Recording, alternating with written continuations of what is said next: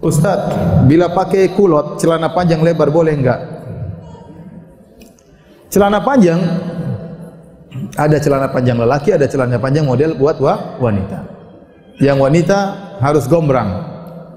Tetapi sebagian ulama seperti Syekh Muhammad bin Shalih Al-Utsaimin menjelaskan bagaimanapun wanita kalau pakai celana panjang tidak boleh keluar rumah. Tapi kalau dia pakai celana panjang di antara para wanita kumpul-kumpul di antara para wanita enggak ada masalah. Dengan syarat celana panjang tersebut celana panjang khusus apa? Wanita. Adapun kalau dia keluar rumah akan dilihat bentuk lekukan belahan antara kaki yang satu dengan yang lainnya.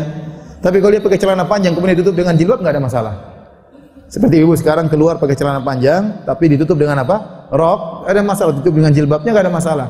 Tapi kalau dia pakai celana panjang kemudian tidak tertutup berjalan di luar maka akan lihat lekukan beda antara kaki yang satu dengan kaki yang lain dan itu dilarang dalam syariat.